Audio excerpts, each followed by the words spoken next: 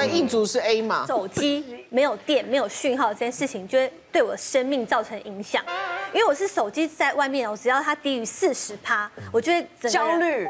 非常的焦虑。所以，然后我就是会很怕它没有电，所以呢，我个人出门的时候呢，我一定会带充电行动电源，而且你们看哦，我会带这样一大包，来是这颗，第一颗，吃电网，对，第二颗，你的手机要不要去换电池？第三颗，我有那个，我有那个，那么耗电啊！第四你的颗。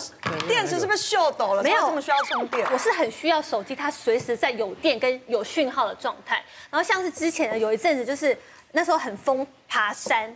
那我爬山，我那时候没有爬过山嘛，跟大家去爬山，有时候一进去山里面，可能那种三天两夜，原来是没有讯号的。嗯我不知道原来就是这件事情这么恐怖。如果早就知道，我就不会答应了所以你。直到那时候才知道这件事。我就对，然后我去山整个人进入一个很焦虑的状态。我觉得我已经与外界就是慢慢的在失联了。然后大家在爬山，大家就是也不 care 有没有讯号，大家可能就觉得在享受大自然。然后我就一直拿着我的手机这样子么，这样随时哦这样看那个声音，等等等，我说。有讯号，不走，有讯号，然后就在这个地方停下来，大家在那边吃东西的地方，然后就这个点哦，你还不能乱动哦，你你过来就没了，就没了，然后这样这样这样这样这样这样，三居一格一格一格，我说哎，一格一格这样子一格，然后大家就我说也没差嘛，我就在那边这样一格，然后在回讯息啊，划手机干嘛，然后看 IG 什么的，然后就我就脱队，大家都走了。他说：“祖祖，赶快跟上！”我说：“等一下，等一下，等一下，等一下，等一下，等一下。”我就一直很珍惜那个手机那个你为什么要出门啊？我就不知道，我就想说揪我，我不知道你要背的是基地台，对对对对，而且你竟然不晓得深山里面没讯号。我不知道，因为我我想说台湾有多好台湾这这种地方因为那时候苹果手机有一代出来，不是说标榜防水嘛，水深三十米都没问题嘛。啊，他潜水的爱好者，他就说说哇，三十米，这简直是为我们爱好潜水的人所设计的，然后就带带人潜水，他不晓得水深三十米也没有讯号。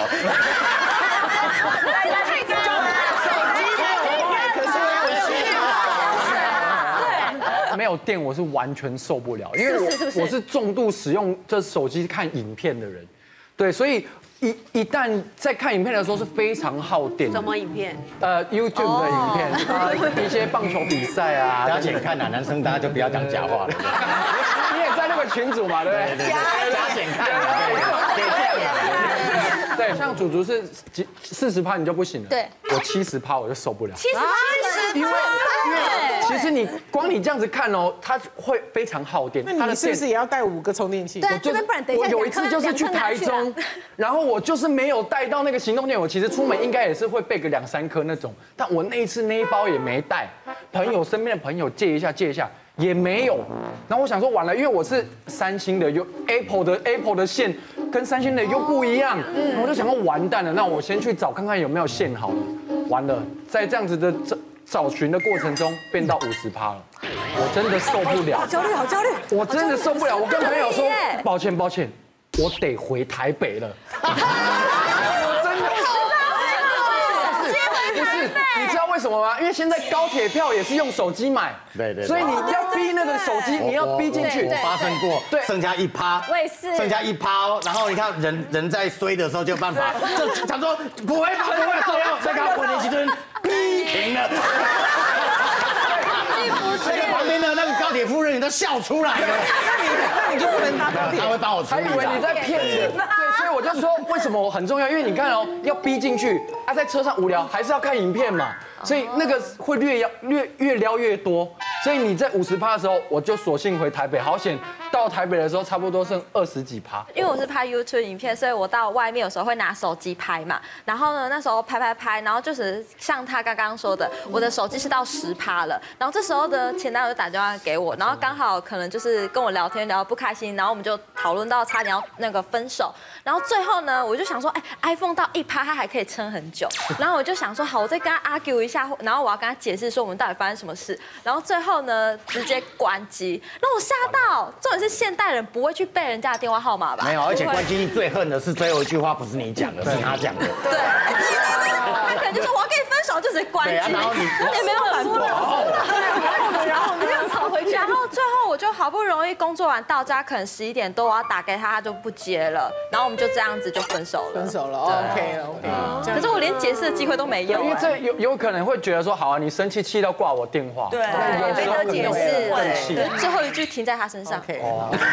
那必须手机真的没电的话，就如同断了手脚筋，路也不会走，然后也不会记电话嘛。而且我现在是连喝水，其实我都是手机提醒我。然后其实我觉得自己困扰就算，有时候是怕麻烦别人。因为有一次我跟闺蜜一起去韩国玩，结果岂知我们两个玩的太累了，手机忘了充电就没有电了，然后我们倒头就睡了。结果我们两个另外一半完全找不到我们，然后我先生气到所有的 Facebook、IG 所有的朋友都联络过一 round 了，最后逼了他在他的社群就是 PO 说谁有吕佩勋的下落，请赶快跟我联络。所有人就这样子，怎么了？怎么了？不是在韩国吗？结果我完全不知道这件事。然后后来早上起来才发现说，哇，我的讯息一直跳出来，你怎么了？还好吗？RIP 就就是有人想说 RIP 之类的，所以就觉得哇，真的是，然后那一次真的被我老公骂惨了。如果出国啊掉手机是出国，那是完蛋的。真的真的前阵子那个知名媒体人啊，去日本旅游，人都已经上了电车以后，才发现手机糟糕了。于是呢，他在上一站的时候呢，把它装进那个袋子里面，当做垃圾一起扔掉。他人在日本，手机不见了，他后续的住宿啦、温泉啊，全部那个凭证都在那只手机里面，然后也没有人可以找得到他，因为在垃圾桶里面。怎么办？怎么办？他就紧急跟列车长讲啊，日本人办事也很有效率，也很有人情味嘛，然后就紧急通知啊上一个站，然后好消息传来，那个清洁阿姨确实有捡到，把它放到食物招领那边去。今天真要大大赞美我们的制作单位啊！我今天的手机 disappear，真是不知道为什么。有没有？我在找手机。整个休息室找不到，然后人家帮忙打，哎，也休息室也没有任何声响。对，因为不可能，我又没有带手机出那个休息室。嗯。谁把我的手机拿了，然后给我放在那个摄影棚？对，我就不知道。所以这这中间有几个逻辑，你知道吗？我开始怀疑我的。我什么失智还是在我？啊刚啊刚好因为因为因为那个的前一集我们就在聊初老，